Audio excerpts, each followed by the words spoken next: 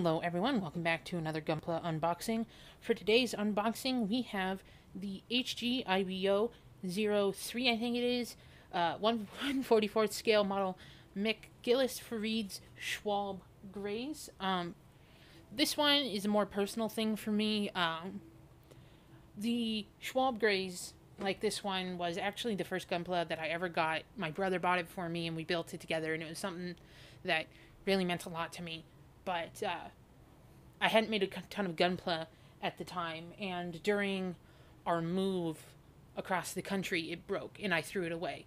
And realistically, now I know I could have fixed it, and so it's been something that's that's been really important to me to get another one. So uh, I finally was able to. Uh, I hadn't been seeing them in stock for a very long time, um, but I was just browsing Gundam Planet um, because I was going to be getting another kit that I'll be doing a video of um, in a while, and I saw that it was uh, back in stock, and I'm like, okay, I have to do this now.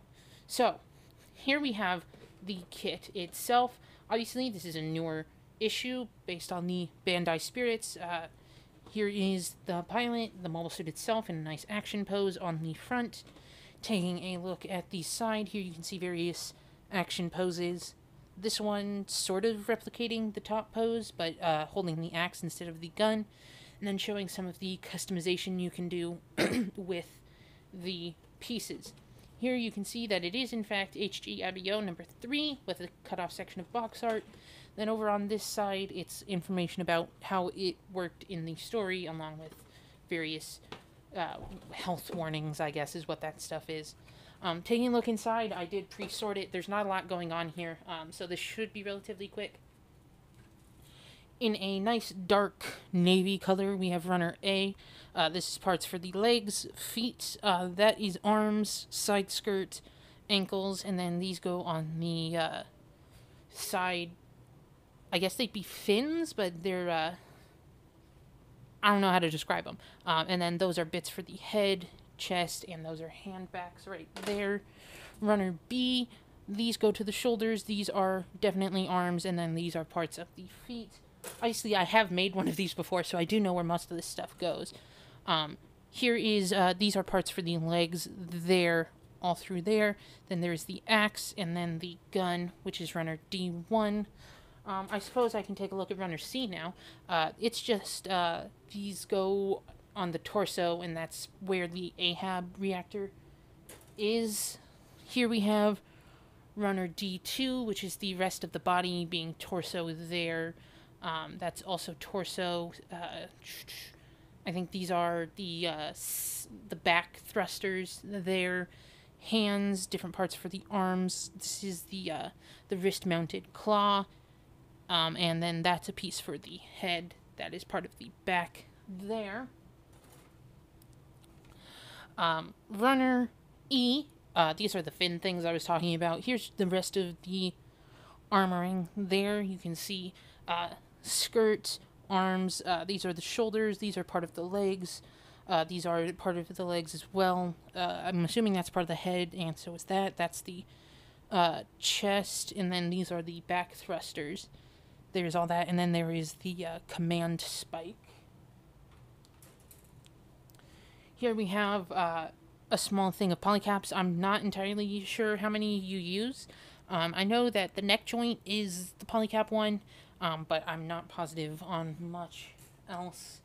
Here we have the stickers. There are not a lot of stickers, and they're actually, um, from what I recall, they weren't that bad the first time I made them.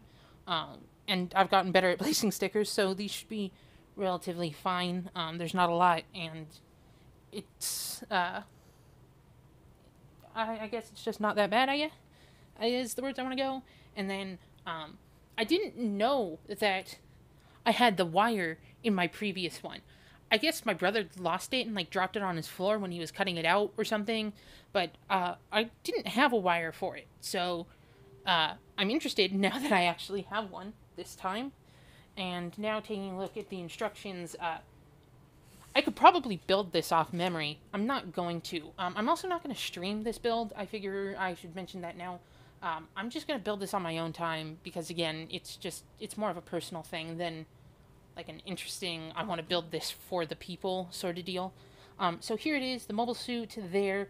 Um, something that someone pointed out to me that I didn't notice is that uh, not only is Farid a Char clone, um, uh, what's his name? Gaelio is a Garma clone.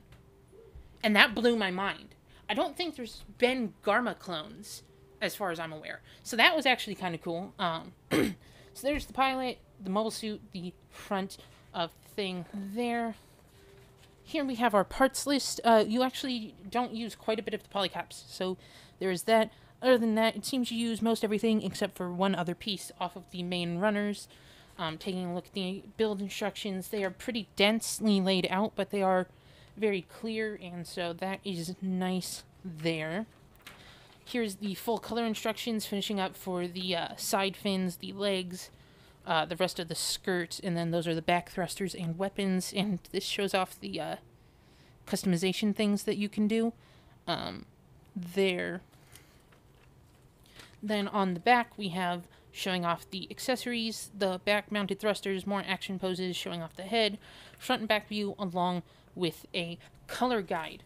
So I'm extremely excited for this. Uh, it's it's a, it's actually not all that bad of a kit. Um, just on top of the fact that it was my first, and it's got a very special thing I need to deal with. I the uh, the instruction booklet does not have the Bandai Spirits logo, but the box did.